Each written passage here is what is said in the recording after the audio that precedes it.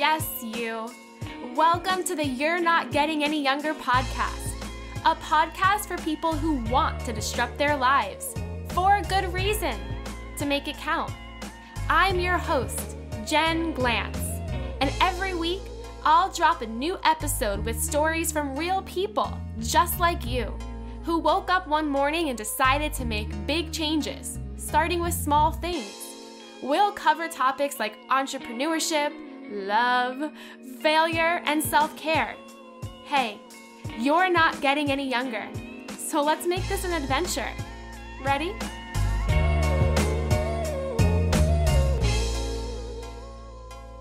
Today's episode is brought to you by the You're Not Getting Any Younger Facebook group. Whether this is your first time listening to the podcast or you are an MVP and have listened from the start, come join us on Facebook. We have a secret free Facebook group. If you search groups in Facebook, you will find the You're Not Getting Any Younger Facebook group. Over 1,400 incredible fascinating, helpful humans are there, starting conversations, answering questions, helping each other out, and most of all, just making sure that we are all squeezing the most we can out of this one shot we have at our lives. So if you're feeling alone, you need a boost of motivation, or you just want to connect with like minded people, go to Facebook, search groups, and search You're Not Getting Any Younger. We're there for you. Hey, hey, any youngers, it's me, your host, Jen Glantz, back with another episode of the You're Not Getting Any Younger podcast. It's the end of January 2020, and I am sending you a virtual high five, a virtual hug, a virtual whatever you need. We're entering into month two of the year, and that's not to scare you, that's not to freak you out, but it is to wake you up. What are you wasting time on? What are you procrastinating on? What are you holding yourself back from that maybe you didn't recover or get over from last year? Process it, work through it, understand it, take inventory on it, and then think about what you didn't do in January that you're gonna do in February because you're not getting any younger. And this is the podcast to remind you of that. This week is a solo episode, and the theme is how to be your own accountability buddy. Now, we've spent a lot of time in the past month and just for a while on the show talking about goals, talking about deciding on what you want, what your purpose is, what matters to you. But none of that will come true. None of that will be a success if you do not learn how to hold yourself accountable. You know, we've all heard of accountability buddy, but that's you relying on somebody else to show up for you. When are you going to show up for yourself? And how are you going to learn to do that over and over and over again to get what it is that you want to achieve, to do what it is that you want to get done. So let's talk about five ways that you can become your own accountability buddy, especially as we move into a new month of the year where maybe this month you will do something for yourself. You will do something for your to do list. You will do something for your goals that you could end the month and say, wow, I am so proud of this, this, and this because I did it without the help of anybody else. So, tip number one is to fully understand what it is you want and what your why is. When I started training for a half marathon last year, I didn't really have much of a why. It was something that my friend encouraged me to sign up for. I didn't really like running. So the first couple months of training for this were absolutely miserable. And then I started to see that my why wasn't accomplishing this half marathon. That was a goal way too far away to care about.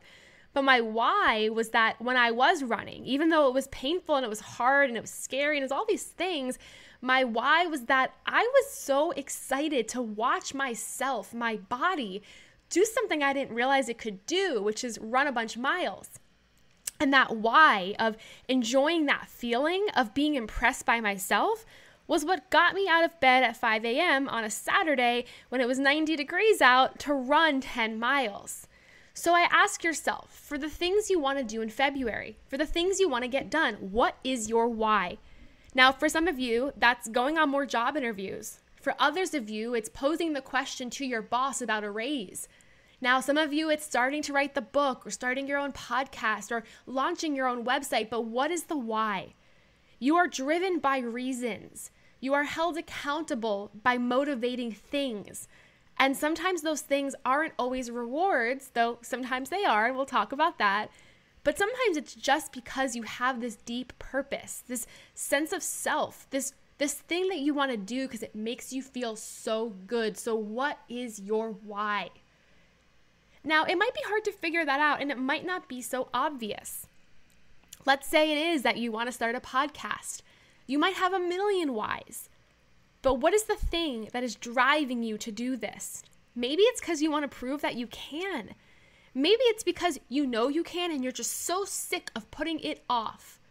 Or maybe your why is that you have access to knowledge that you know if it changed even one person's life, that would be so incredible to you. What is your why? Maybe you're after a new job. Why do you want that job so badly? And sure, it's the money, it's the safety, it's the security, but but really, what is that why? So as you're brainstorming your whys, push yourself because the, the couple of reasons you first write down might not even be your real truth. Push yourself to write down your why and fully confess what is driving you to do this. Now, by the way, you might have to do some things that you don't actually really want to do, you're not passionate about. So maybe your why is more of something that is something that you have to do because you know it's going to make your life different or better. But no matter what it is, once you understand your why, that awful task is going to be something that makes it feel a little bit better. Another thing that's on my goal to do list, I signed up for a February yoga challenge, which is four Uh, no, three yoga lessons a week for the four weeks. And I'm not very good at yoga. I like I want to like yoga, but a challenge like this is tough for me. So the reason why I am doing this is because something in me knows that when I do these yoga classes, I end up changing my mood and my attitude. So my why for showing up 3 times a week to these hour-long classes that are really hard, really tough on my body is that I know that I enjoy the feeling afterward. And that is my why. And if I don't get that feeling afterward by not doing yoga, by sitting on the couch, I know I feel guilty and miserable. Number two is map out your realistic time. So, when we're trying to keep ourselves accountable, oftentimes we don't actually look at our schedule, look at our calendar. We don't even know how much time we have to do what we want to do. So then it falls through the cracks or we don't show up for it because we don't have time for it. So, as you're plotting out how you're going to keep yourself accountable for a goal or a task, First, track your time. Look at your calendar. Make yourself realistically understand how much time you can budget to it now, and perhaps what you have to move around and change to budget more time for it. And once you do that, you'll be able to approach it in a more realistic way. So if you look at your schedule this week and you realize you only have about two hours throughout the whole week to devote to this goal, well, at least you can make yourself accountable for those two hours rather than trying to make up 5, 10, 16 hours to put towards something that you know you don't have. You will feel more accountable when A, you understand how long a task will take, and B, when you budget that much time that you have and only what you have to really put forward into that goal.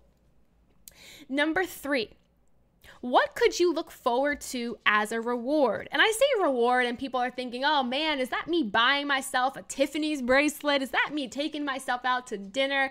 No, rewards can be free. They can simply just be a list of things that you enjoy that you want to use as rewards for keeping yourself accountable. For example, you might say to yourself, if I do these three tasks today, my reward of the day is that I get to take a 20 minute nap. And if I don't do these tasks and I don't finish on time, then you can take that nap. Or maybe it's that you say, okay, if I do these tasks, then on Friday, I'm going to end work an hour early and I'm going to do whatever I want during that one hour because I kept myself accountable. So, rewards don't have to be big ticket items you buy yourself or even anything you spend money on, but they should be things you enjoy, you look forward to, you want, things that you can motivate yourself with. That way, you can assign tasks accountability with a reward. Number four, how can you kick off starting what you have to do as your own cheerleader? You know, oftentimes when we're holding ourselves accountable, we put so much pressure and stress on ourselves. We're mean to ourselves. But how can you enter that thing you have to do as your own cheerleader? For example, on my to do list, I try to do some sort of physical activity for 20 minutes every day. Sometimes that means at 9 p.m., I sit on the stationary bike and I pedal as slowly as I can just to get to 20 minutes in. But again, sometimes when I approach those 20 minutes, I'm miserable about it. And it's easier when you're miserable about something to not do it. So, what I try to do is pump myself up. And this is gonna sound weird, but I'm gonna share it with you. Is I have a song that I'll sing to myself. And the song is a little bit negative, but I'll sing like, there's nothing more I'd rather do less than do 20 minutes of a workout, but I'm gonna do it anyway because I know it's good for me. And I sing this song, and you're probably like, Jen, that was so embarrassing that you shared that. But I promise you, that is a real song I sing to myself every day. You can ask Goofy, she will verify for you that that is true. And again, that song makes me laugh because it's so geeky, but also it makes me feel like I'm a cheerleader. It puts me in the mode of cheering myself on before I have to do something. Again, shifting your mindset before you approach a task will allow you to do it and go through with it. Viewing it as something negative, something you have to do, something you're miserable about, will give you every reason not to do it and you won't be accountable. Tip number five Close it out by having check ins. So every end of the week, whether it's a Friday or a Sunday, take 10 minutes and just observe the progress you made on that goal, what you didn't do, what you can change going forward. If we don't have these checkpoints, these check ins, we're not able to keep up with ourselves. Life gets so busy, we have no clue what we're doing half of the time. We're in autopilot. So, having these check ins allows you to account for how much progress you made, what you might have to change in the future. So, once a week, put on your calendar a 10 minute check in. And you can make this fun. I do my check ins with a bag of with a box of black and white cookies from Trader Joe's. And I'll just munch on the cookies and I'll do my check ins. And it makes me excited to do that on Sunday nights because it allows me to see, okay, what kind of things I have to change moving forward? What am I proud about? How am I tracking how much progress I'm making here? You're your own accountability buddy. You're your own coach. You're the leader of your own team. Check in with yourself. Okay, these are five tips for you. You don't have to do all five of them, but hopefully they allow you to think about things a little bit different and start to prep yourself to be your own accountability buddy. Because in the end, you need to trust yourself more than anybody else, and you need to show up for yourself. And if you can't do that, then you're gonna constantly rely on something else to help you do that. And you can burn out that way. It's not scalable that way. So maybe for this month, you choose one or two of those five things, you put them into place, you see how they go, and you see how much progress you make on the things you know you have to get done. Well, my friends, thanks for listening to this episode. If you like the show, and I hope that you do like the show, it would mean so much if you subscribe to the podcast. If you gave it a review, just scroll down on your phone, drop us five stars. If you want, leave a review. Also, come hang out with us in the secret You're Not Getting Any Younger Facebook group. There's over 1,500 incredible human beings in that group waiting to say hello to you in a non overwhelming kind of way. And if you're listening to the show and you think other people would like it, drop it in an email, send it to them, post it on social media, tag us at Jen Glantz at Any Younger. I'll retag it. And if you have questions, advice, comments, or hellos for me, drop me an email, jenglantz at gmail.com. Now you go off and be your own accountability buddy, my friend. Until next time, all my love, Jen Glantz. Hey, you. Thank you for listening to the You're Not Getting Any Younger podcast. There are hundreds of thousands of pods out there, so thank you for listening to this one. You can find the show notes for this week's episode up on our website, anyyounger.com. Subscribe, rate, and review that You're Not Getting Any Younger podcast on iTunes so that other ears around the world can listen too. Oh, and join our secret You're Not Getting Any Younger Facebook group, where over 1,000 people are talking about how to disrupt their lives for a good reason, to make it count. Until next week, all my love, Jen Glantz.